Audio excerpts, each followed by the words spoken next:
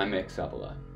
I was talking to my friend Brian McCracken last night, and uh, he said that he is a traditionalist and has considered himself a traditionalist for 10 years.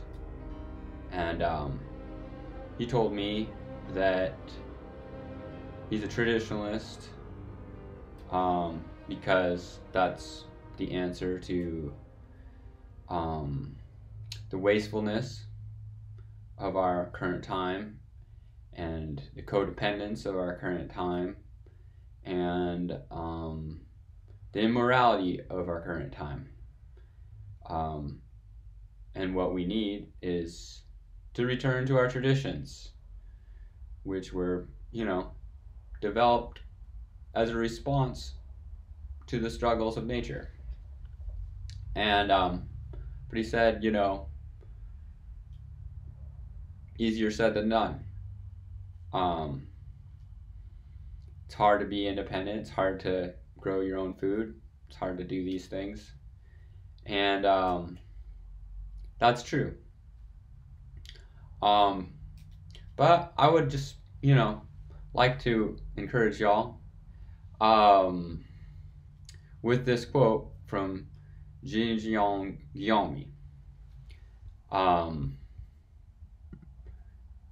pretty much can be applied, you know, to um, any situation, anywhere you're at in your life, you can apply this quote and become more traditional.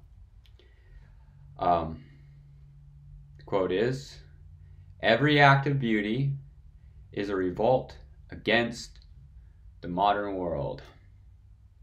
Think about that. Every act of beauty is a revolt against the modern world. So, you know, when you're feeling discouraged and feeling like you're not moving in um, a more traditional uh, way of life that you wish to have, um,